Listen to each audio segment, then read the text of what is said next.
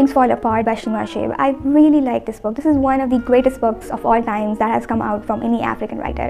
Um, the protagonist is a guy who belongs from the Nigerian tribe in the pre-colonization times.